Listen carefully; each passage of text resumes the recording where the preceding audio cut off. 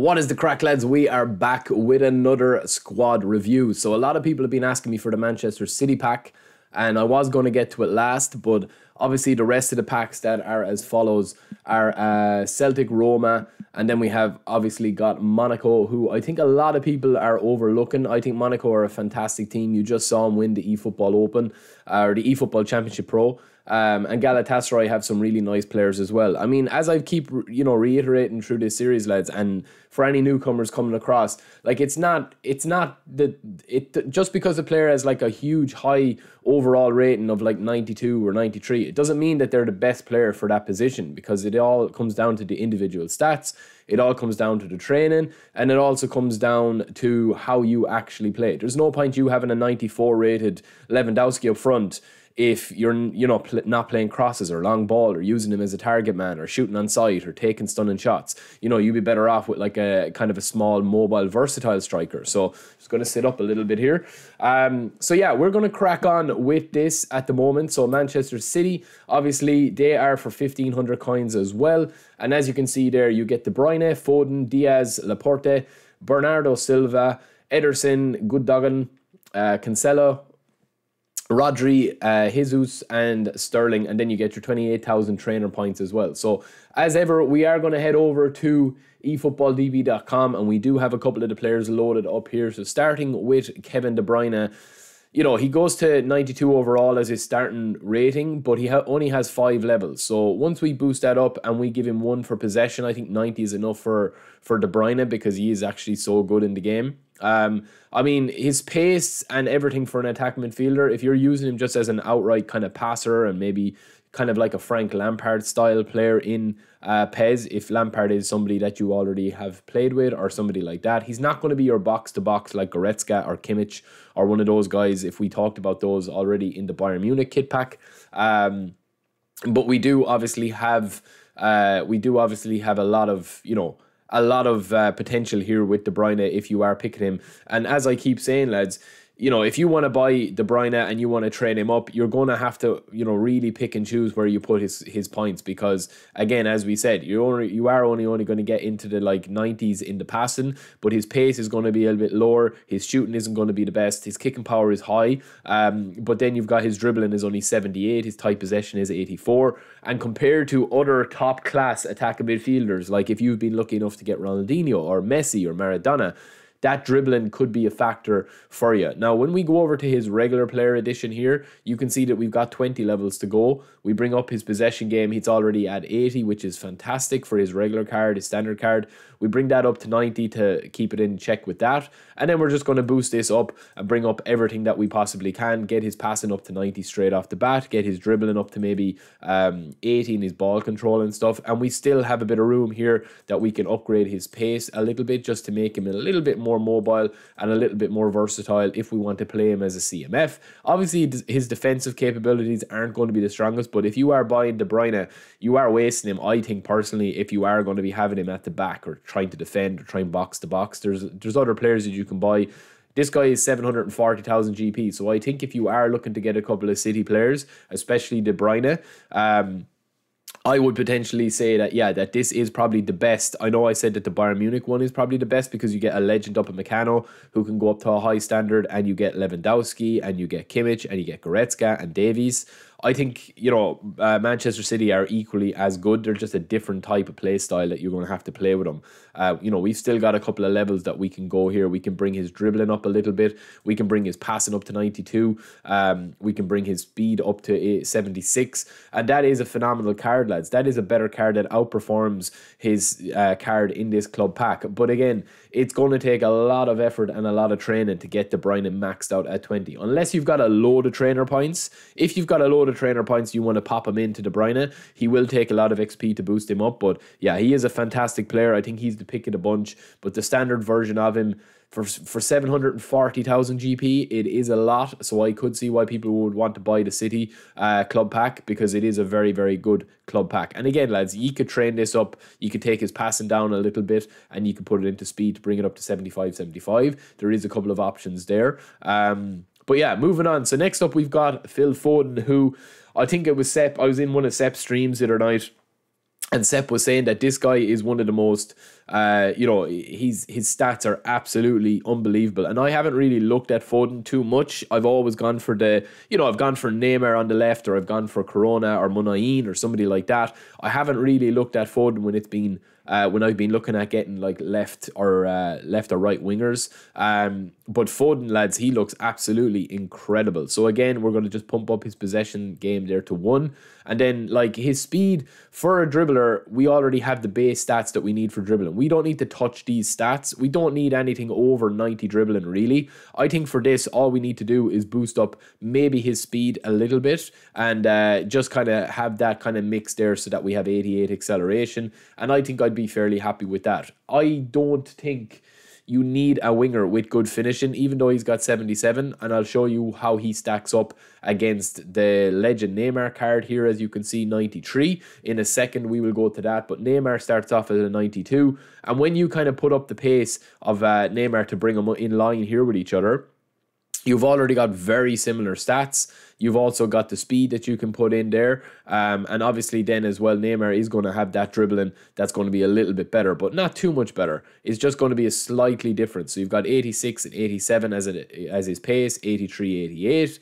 And then obviously you've got the, the dribbling 88, 90, 89 for Foden, 89, 91, 89. So like this is the Neymar card, how it stacks up against Foden. I would say that Foden is very, very, very, very good and he's a worthy competitor there for Neymar. Now when we actually go into his standard card, and again, as I said, if you are prepared to grind, 170,000 GP lads is for nothing at this stage of the game. The game's been out a while. And if we are just going to boost this up, right, he already has a fairly high possession stat. We bring that up to 92. And then we're just going to focus on what makes his other cards so potentially explosive, right? So we're going to give him 85 in pace here. And then we're going to focus on, we might take a few off that. We're going to bring that up to 88. We've still got 15 levels, so we can just pump that into dribbling.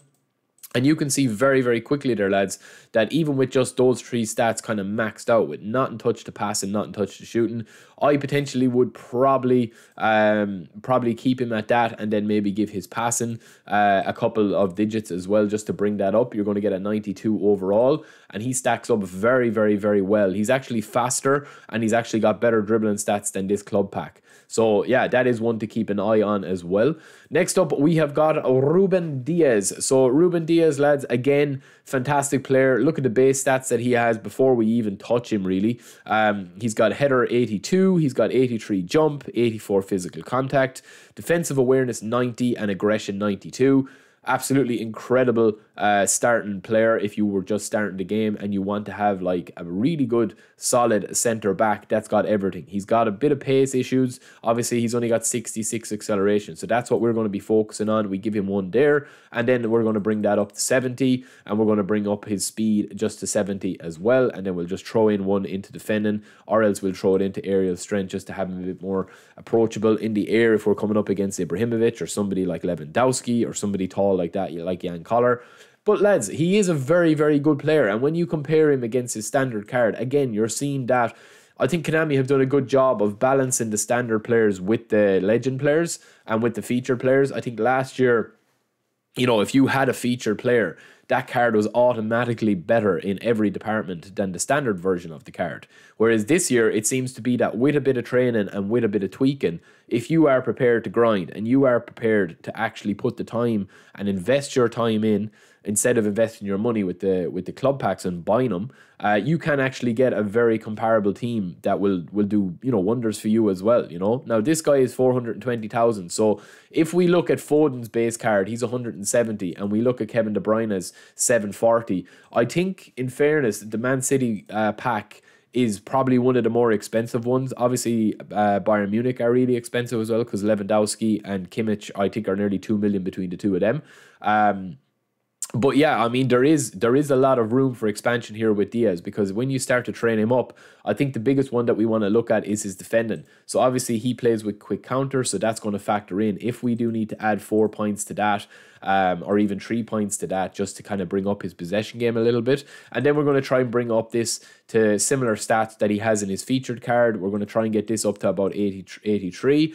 And then the rest is just going to be his pace and his speed, lads. So that's basically how we are going to train him up. And you will see very quickly that 70 and 70 for his pace and his acceleration. And then we've got obviously got all the stats that we could possibly want for his defensive side of the game. And then we've got a little bit of passing that we can do here to bring him up to a 93 overall. So he's actually going to outperform his uh, club pack card, and this is what you see with a lot of the players, is that they've both got 70 pace, they've both got 83 header, and then here we've got a little bit of a difference in the passing, um, uh, but the defending is is is better. So we've got 91 and 91 aggression and defensive awareness. We've got 90 and 92 here for his defensive awareness and aggression. So it's just a slight tweak to the to the formula. Um, obviously you can spend a few more points on him because his possession game is very strong here. Um, but again, that that kind of comes to that kind of comes to the fore with it a lot of the time that you can actually you can actually train up the players and no more so than João Cancelo, right? So we're going to take a look at João Cancelo here and he is a really good example. We're going to take a look at his base card in a second. We're going to open that up,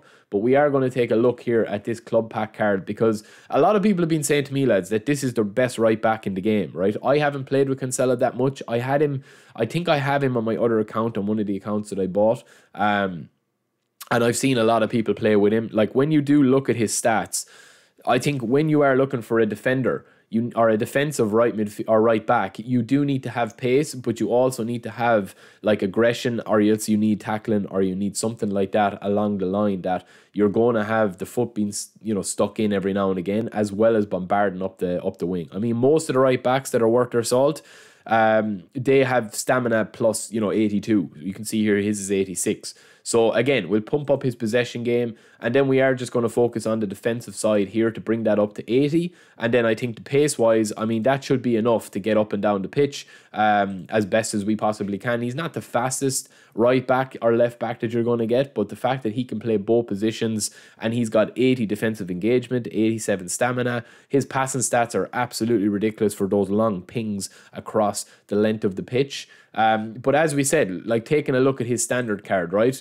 And we take a look here. We've got 27 levels, which is equal to 80, 52 uh, progression points. And then we only need to pump in two to his possession game here and we are ready to rock and roll with him. So the biggest thing for me, I think, is bringing up his actual uh, defending here to 80. So we obviously want that to get to 80 to be on the same level as his other card. And then we're going to go into his pace, right? So we're going to try and go 85 and maybe 85 um, and see what we're left with. We do have 17 points left. Then we can focus on his dribbling. And then obviously we can focus on one or two of his passes as well. We don't really need him as a passer, um, but I do like to give that option there, especially for the lofted pass to be about 85, 86, just to keep him in line if we are going training him up. And then obviously put the rest in wherever you want to put it in. We don't really need aerial strength because he's not going to be winning any of those battles anyway, in my opinion. Even though he's not the smallest right back or full back, um, we can have those 13 points and we can literally just, you know, put it into whatever speed that we want to put it into, or else we can put it onto dribbling, which is always fun. Um, but I think, yeah, having that lower body strength stat and upping it as best as we possibly can to get his stamina and his speed up to the max limit, I think that's kind of where we want to rock with it. And again, you can see that his stats distribute perfectly as a right back where you've got 88 speed, 86 acceleration, low pass 80, 82 ball control, 81 dribbling, 81 offensive awareness, 74 defensive awareness, and then his defensive engagement is 80. Now, if we had wanted to, we could also take maybe one of the one of the pace away and add it onto defendant to bring it up even better. But I do think that having him with that little bit of extra pep in his step is going to be you know exactly what what uh, what you need. So yeah, lads, that is it. I would say that for all intents and purposes, that the Man City pack is very, very, very decent. It's probably I would say between that and the Bayern Munich pack you've got a ready-made team. You know, you've got your strikers. Obviously, we haven't touched on uh, Jesus, we haven't touched on Rodri, or we haven't touched on Sterling or Gundogan or Ederson. We've got a really solid goalkeeper. We've got two solid centre backs. We've got a brilliant attacking midfielder. We're sorted for wingers with Foden, Sterling, um, and Bernardo Silva. We're sorted, I think, in the middle of the park with Gundogan and Rodri. And then obviously, striker wise, you are a little bit kind of like, I think, left behind with having uh, Jesus up front by himself. I think you would have to get somebody else instead of there. Um, now, also with the thing that I was talking about, lads, with Cancelo, if you are, depending on when you're watching this video, uh, there is actually the free version of Cancelo that you can get for the five star nominating contract, uh, which we have done a video on as well. So if you haven't checked that video out, make sure and check that out. It is in the special nominating contract here, um, which you can see with the nominating contract. And this version of Cancelo, um, you can also choose between getting Mahrez as well. But Cancelo, this guy is a really good beast. You can get him for free. Check out my video in the link below if you want to get him for free. Um, so that might make your decision on holding off on that a little bit easier. But yeah, that is it for me, lads. I hope you enjoyed the video and I hope you've enjoyed all these series. We'll be back with a couple of more. Don't forget to check out Dream Team Chronicles. We are back with season two. I will talk to you in a bit. Peace.